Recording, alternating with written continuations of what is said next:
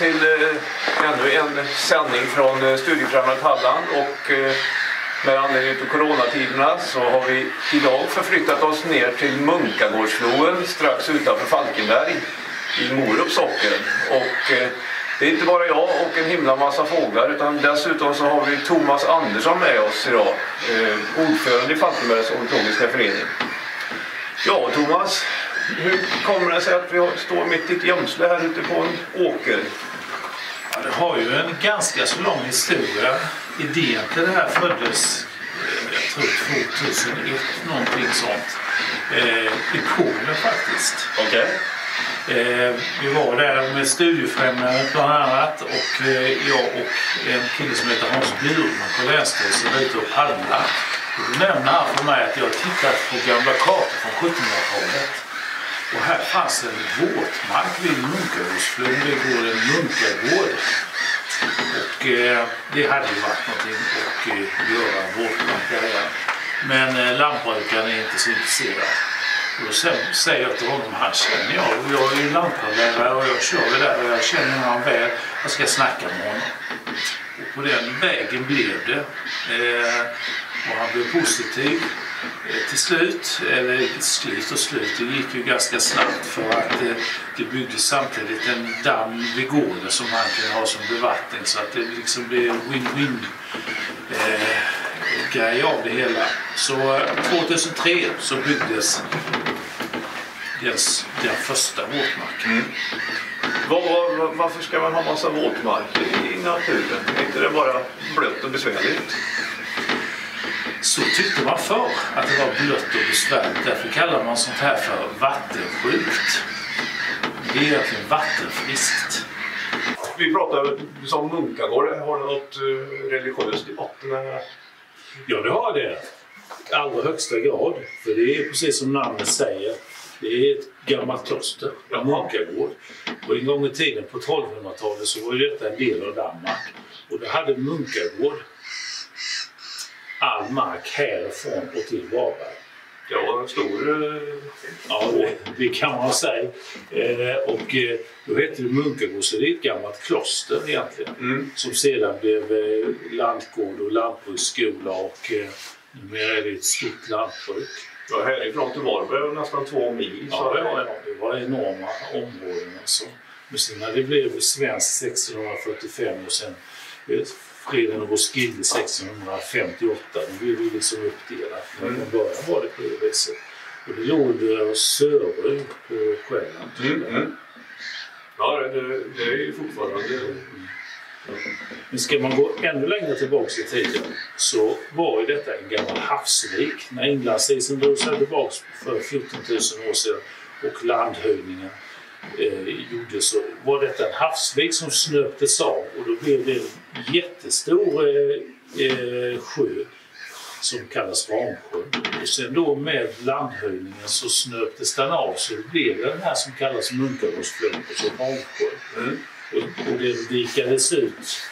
Jag tror man började redan på 1800-talet men en bit in på 1900-talet så dikas det ut. Och Så var- Ramsjön finns inte kvar idag? Nej, nej, nej.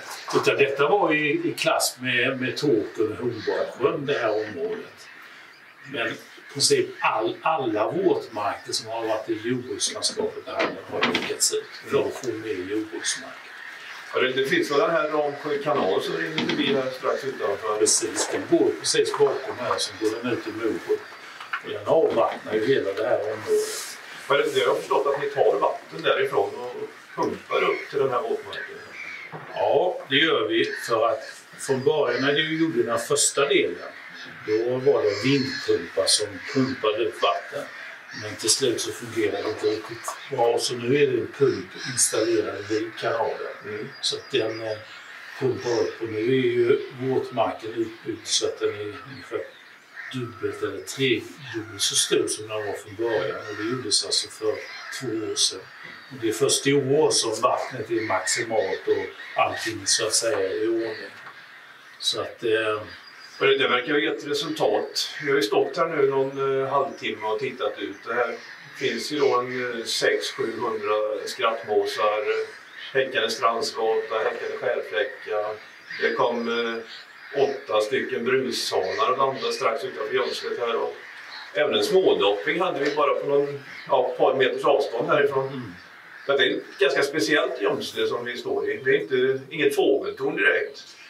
Nej, det finns ju gömsle. Om man ser i Halland så finns det på Trödinge i Halmstad. Det finns på Jätterön också. Och eh, när Jens Morins på Naturcenter började skissa, skissa på det här så, så diskuterade vi det i föreningen också, för Falkons Och då tänkte vi att vi ska väl inte vara sämre för att just att ha den här, det här publika att man på nära håll både kan titta på fåglar och fotografera dem ostört. Det är ju någonting som är oerhört positivt kan vi tycka. Så att eh, då, då i den här planen när man byggde ut hela våtmarken så fanns detta också. Och eh, det var väl eh, lite så kämpigt och få kämpigt kan jag inte säga men alltså det kostar ju pengar allting. Men det gick ju igenom till slut. Ja, jag står just nu och tittar rakt ut på en smådopping här på armslängds avstånd. Det, det verkar vara någon rovfågel också så det, det drar. Nu sticker. Vi passerar ju havsörn nästan dagligen här. Så någonstans, jag vet inte riktigt var, så häckar vi havsörn. När man flyger ner till kusten och då, när den gör det så flyger ofta, så flyger alltid annat också. Ja, havsörnen har väl gjort en fantastisk återkomst i, i Halland. Och på, för den var väl utrotad under nästan hundra år och sen har den kommit tillbaka under de sista åren. Ja, vi hade ju den första häckningen här, inte långt härifrån, bara någon kilometer.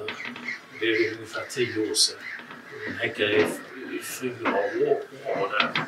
Men sen vet vi inte var den häckar, men någonstans i omgivningen häckade. Sen har det ju blivit ytterligare tre, fyra par i Halland. Du, du har väl eh, hållit på med fåglar länge Thomas? Du, vet hur dåligt det var en gång i tiden, ja. slutet på 60 början på 70-talet. Ja, dåligt dåligt. För vissa arter var det ju riktigt dåligt. Men för vissa arter så har det blivit dåligt. Man kan säga att rovfåglarna har haft en enorm framgång. Både havsörn, pilgrimsfalk och många andra. Både kärrskjut som idag är en ganska vanlig fågel kan man tycka. Den fanns ju inte på den tiden. Och sen finns det ju vissa delar, inte minst strandängarna, som har minskat kanske med 80 procent fågellivet där. Mm. Så det är ju liksom, det går upp och ner. Men om man återgår till en, en sån här våtmark så är det ju en väldigt stor bristvara. Och det är ju därför som det blir så för att fåglarna svarar direkt. Alltså, de ser ju sånt där, man ser ju skrattmås och, och många av de där fåglarna som är knutna till kusten som strandstötar, skärfläckar, de, eh, de flyttar in här för här är, här är mycket mer ostört än det vid kusten. Men det är också så att ni reglerar vattennivån för att göra det optimalt? Det gör vi. En våtmark är ingen sjö utan den ska, den ska fluktuera. Vattenståndet ska gå upp och ner. Och I det här systemet som är byggt så är tanken att man ska kunna reglera vattnet exakt hur man vill ha det. det är, nu har vi pumpat in så mycket vatten så nu är det maximalt. Högre än så här blir det inte. Sen rinner det iväg så, så här är det.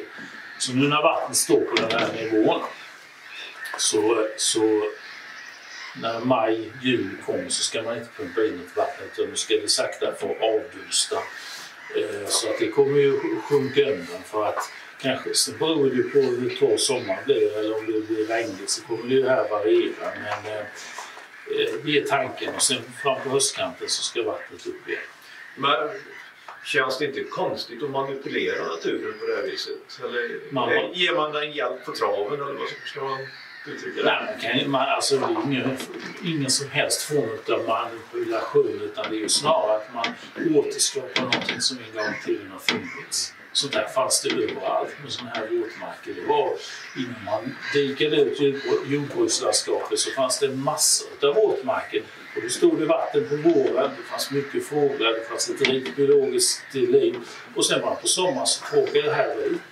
Och så återkom det sen på hösten. Så det är någonting som har funnits. Ja, det är alltså en naturlig cykel som vi återskapar här i Munkagårdsfloden. Ja. Jag menar du någon kan ju Biepcia i Polen och jag har ju varit med där sju, åtta gånger och där, där är ju fortfarande de här jättelika, kanske Europas största naturliga våtmarker. Mycket av den kunskapen som vi har lärt oss där, det har vi omsatt i det här, i de här våtmarkerna. Inte bara den utan även i Källstorp. Ja, det är ju lite grann en paradox. eh, För sista veckan så har det varit en förödande brand i just Bjärsjö på grund av att de har haft det så torrt där nere.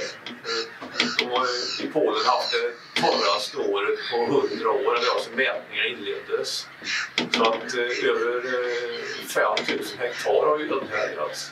Det- Det, man har sagt då det är ju att eh, i Polen att vi måste vara mer rädda om vårt vatten. Vi kan inte bara låta det regna ut utan vi måste skapa mer våtmarker. Och ändå tycker man när man kommer dit att de har ganska gott av det. Mm. Nej, det är, det är, det är våtmarker är otroligt viktiga för att, eh, som man sa inledningsvis, där, vattensjukt. Detta är alltså i högsta grad vattenfriskt. För att kväve som, som rinner ut i, i Kattegatt och tidigare i alla fall förorsakade jättelika algblomningar i Laholmsbukten och därmed också i det gick åt syre och bryta ner bakterier. Det försvinner, i, i, i luften den här kväven. Det är kvävgas. 98 procent av luften består av kvävgas. Så att det försvinner. Plus att växtligheten tar upp mycket av den här kväven och fosfor.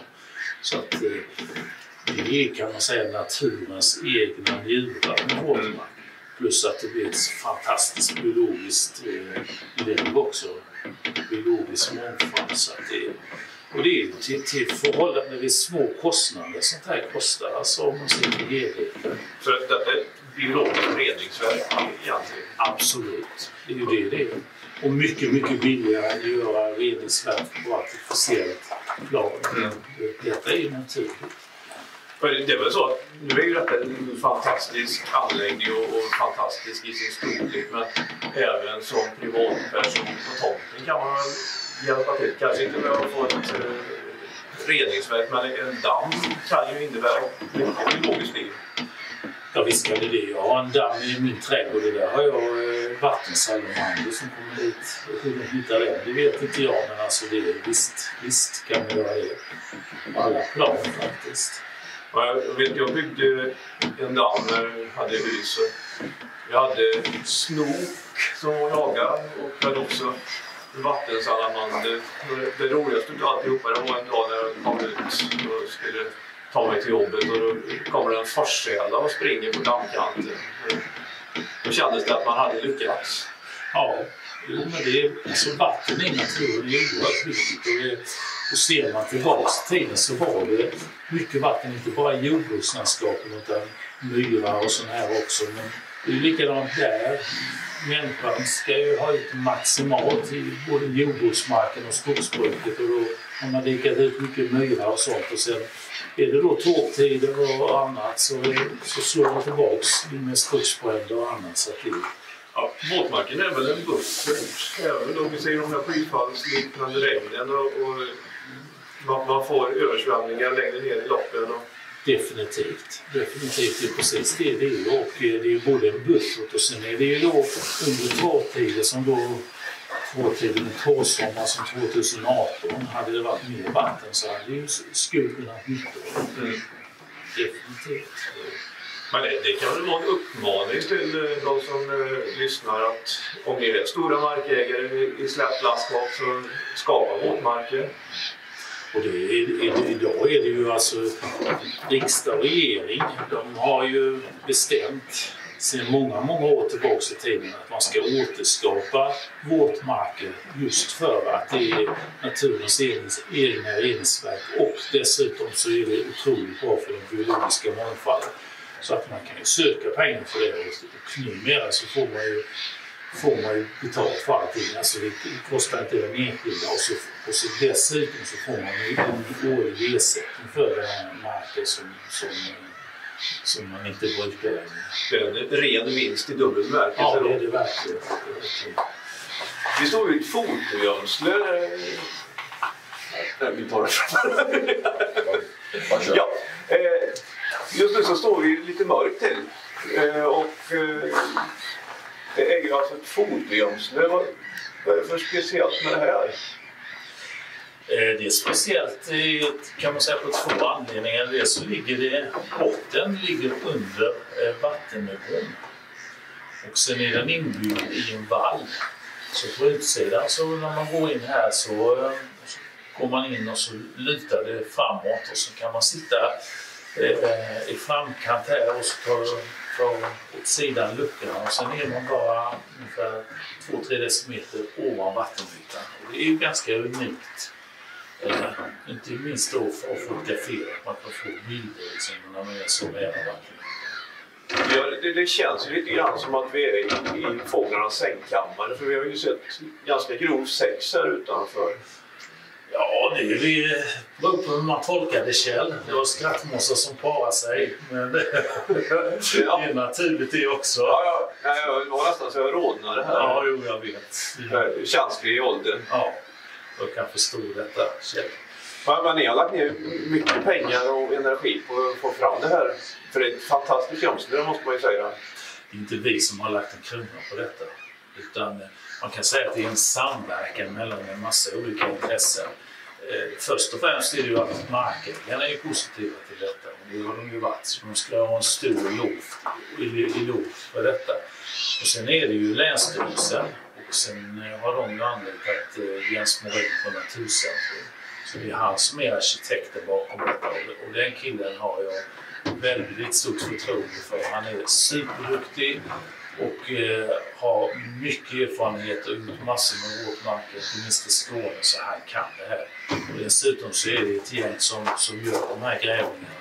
En kille som heter Johan som är också jätteskicklig. Så att eh, de, sen, eh, från erfarenheter som man har från andra gömslen och andra våtmarker så kom vi fram till att det här skulle nog passa bra här och göra en och jag tror detta är ganska unikt att man har en, ett gömsle där man kan sitta så lågt ner, där man sitter som sagt nästan i vattennivå. Mm.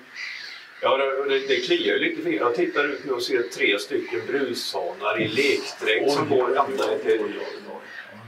Det är helt fantastiskt. Stå så här nära och ändå inte störa fåglarna. Det, måste ju vara en dröm för en fotograf. Definitivt. Det här är något helt fantastiskt. Och det är ju också så att i och med att det är mörkt här inne och när man öppnar luckorna så är det fortfarande mörkt för fåglarna så de blir inte alls störda. Så även om man har de här stora luckorna öppna så störs inte fåglarna. Det är tre brushanar här utanför som spelar. Helt fantastiskt. Ja. Uh, när det gäller fotogömslet och, och det här det måste ju dra till sig många fotografer också. Många som kanske får sin första, ja, nu ska vi inte säga inblick i, i fåglarnas sexliv för det är väl inte därför de sker, men man, man får närkontakt med fåglar på ett uh, otroligt sätt. Det måste betyda mycket för intresset för ja. fåglar och ornitologi. Det är ju så vi tänker lite, eh, inte bara vi i Ornitologiska föreningen utan andra också som har jobbat med det här. Att kan man kanalisera folk utan att störa fågellivet. Man kan komma till ett gömsle, sitta här, titta på fåglarna eller fotografera utan att de blir störda. Då är det ju en jättevinst. Man får upp ett intresse för fågellivet och man stör inte dem och kan man få då fantastiska bilder också så är det ännu bättre. Mm. Och jag som är då är naturfotograf och sitter i styrelsen med naturfotograferna, vi tycker också sånt här är är jättebra. Alltså att man ska störa så lite som möjligt men ändå ha chansen att få bra bilder och kunna berätta en historia kanske om också. Det är väl någonting som har, har exploderat just naturfotografering, fågelfotografering med den digitala revolutionen. Att man ser oerhört mycket folk med stora gluggar och häftiga kameror. Ja, definitivt. Det är, mycket, mycket enklare att fotografera idag. Och, med den här digitala tekniken med datorer hur man kan skicka bilder så har det ju fullständigt exploderat. Men det gäller ju liksom också där att, att, att de allra, allra flesta sköter detta på bra sätt men ibland så kan det ju vara så att man vill ha den här speciella bilden och då kanske man går över gränsen och stör fåglarna för mycket. Men i det här fallet så gör man inte det utan detta är ju liksom optimalt. Här kan man sitta och fotografera om man har liksom den här gränsen där fåglarna de vänjer sig vid detta. Vilken tid på dygnet är det som är bäst? Är det hela dagen eller ska man vara tidigt på morgonen eller kvällsljus? Eller? Det beror nog lite grann på vad det är för väder. Är det soligt om man är här mitt på dagen då kan väl ljuset bli lite väl vitt. Men tidigt på morgonen när man har medljus och på kvällen också när man har lite motljus och lite kanske hårdare i ljuset.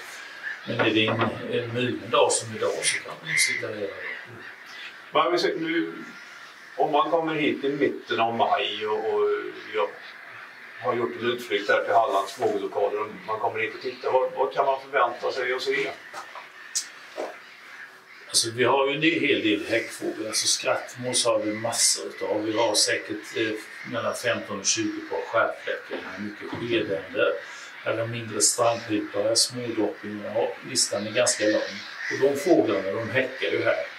Men sen, sen i mitten på maj så kan det vara arktiska vadare som slår ner här. Det är ju brushanar, eller vi har ju brushanar här. Det kan ju vara en del ytterligare som slår ner här under korta perioder på väg uppåt. Men annars är det de häckfåglarna vi har.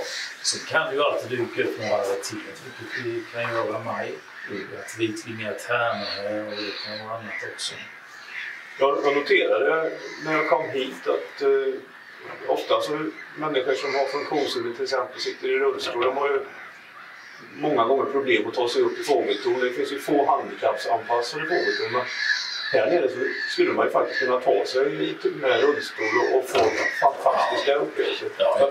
Det är många som kan ha glädje till det här. Inte bara äh, människor, äh, eller alla kan ju komma hit. Absolut. Och jag tror det här kommer bli oerhört populärt. Eh, vi känner till det här som bor här och men sen sen när detta sprids och när man har varit här och tagit del av detta och inser att det här är fantastiskt så kommer det komma mycket folk. Och nu är det coronatider och vad allt detta innebär men eh, det kommer nog att... Och här kan vi ska bygga bänkar här också så man kan sitta lite närmare och här är väl ett tio, nej 7-8 gluggar. Att, det är väl det som är så bra med fågelskådning, att man kan vara ute i naturen och hålla avstånd till varandra. Uh, och det, det, är väl också en uppmaning man kan göra, att man, man inte behöver stå och trängas. Och här, här, finns det gott om plats. Här skulle man, I det här fotogrammet så skulle man kunna vara fyra, fem stycken utan uh, bekymmer och ändå hålla ett bra avstånd. Ja, minst. Det är säkert att vara med. Absolut. Ja, nu har vi förflyttat oss från eh, fotogramslet upp till fågeltornet här vid Munkagårdsfloen. Och, eh, vi står här i en bitande ostanvind.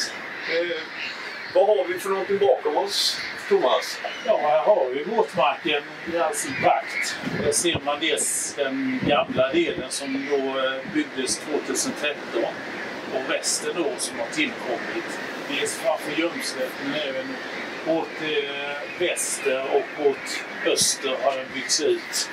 Och det gjordes 2018. Men eh, 2019 så höjde man inte vattnet av den anledningen att det är viktigt att, att gräset etablerar sig så att det i sin tur förhindrar erosion. För hade man satt på vattnet direkt så, så hade det inte öarna blivit de här plana öarna som är viktigt att de är. Men nu är det som sagt maximalt och nu är det färdigt allting. Det är ganska många hektar som eh, våtmarken omfattar. Den den första då, den var på fyra hektar och nu är det väl, eh, tror jag, nästan 10 eller något sånt. Nu, nu, jag förstår att det, det kommer att, att eh, bli en hel del häckningar här i år. Det, det märker man redan nu. Med, med skrattmåsen och, och jag funderar på, för 100 år sedan eller 200 år sedan när munkagårdsloven fanns i original då fanns ju inte skrattmåsen. Nej, det fanns den inte. Men det kanske var vit stork och sånt som sprang omkring där. Det är mycket möjligt att, att det var... Alltså, skrattmåsen är en ganska sen invandrare till Sverige. Jag tror att det var i början på 1900-talet som de första började häcka på Gotland. Den kommer ju från, eh, från eh, områden i Ryssland, Ukraina där. Eh, och nu har vi en ny mås som är på gång för någon områden också, svarthuvad mås. Så att den kan vi nog snart förvänta oss kanske bli en häckfågel här också. Ja, vi, vi är ju i Halland och vi har ju sett stötar, framstötar med eh, både svarthaka, buskvänta och blåhak i år. Och, eh, vi kanske, varför inte skedstork? Det borde väl också kunna passa för... Ja, det är ju en sån fågel som man tror att ska bli eh, en av de nya fåglarna som etablerar sig i Sverige. Så det kommer det säkert bli. Eh, vi har ju grätthäger som är det finns ett par, par, eller par kolonier i Sverige redan så att de kommer också med all sannolikhet att öka i omfång. En grätthäger är ju den här vita hägern då som var känd för sina egretter eller plymer. Det var ju högsta mode i, att ha grätthägerfjädrar i New York på början på 1900-talet. Så att eh, det var därför att den var så nedgången. Ja, om skrattmås, jag kan ju bara säga det att, att eh, skrattmås är bra på flera sätt. Dels ger det ju ett jätteliv åt en våtmark. Många individer, de låter och de hittar på saker hela tiden. Dessutom så är det så här att, att när det finns en skrattmåskoloni så är det många andra fåglar som hittar det där. Man får skyddet av skrattmåsarna. Det är vilt till exempel och det är skedänder och sånt som gärna häckar i anslutning till skrattmåskolonin. Ja, och det är klart, eller gott om skrattmås så indikerar det också att det är bra miljöer. Ja, definitivt. Definitivt. Är det något bekymmer med predation? Och, det är ju ganska statisk våtmark. Man kan ju tänka sig att rävar och grävlingar och kråkor hittar hit. Det är faktiskt ett stort problem. Och det var så här att, att när våtmarken anlades 2003, så efter några år så etablerade sig skrattmåsar här. Men sen en sommar när det var ganska lågt vatten så kom en räv och gick ut, simmade ut. Det var lågt vatten, han fick simma lite och plockade massor av skrattmåsungar. Så försvann skrattmåsarna och sen har de alltså varit borta i säkert Alltså det är bara för ja, två, tre år sedan som de började komma tillbaka. Så de är det. Det är precis som tärnis och skrattmåsar. Lika det och det är inte någon predation så ökar de väldigt mycket. Och sen kan de försvinna om någonting händer. Så av den anledningen så, så är det ett, ett elstängsel runt alltihop med fyra trådar för att man ska hindra att räkor kommer in i området. Och eh, får den stöta sådär, alltså det, Sen, eh, sen eh, finns det ju också en del jägare här som, som jagar räv så att eh, förhoppningsvis så ska räven vara en stor predator. Och elstängsel funkar även mot fågelskådare som är för närgångna. Ja, det är ju största anledningen till att ha det för att de ska hålla sig på behörigt avstånd.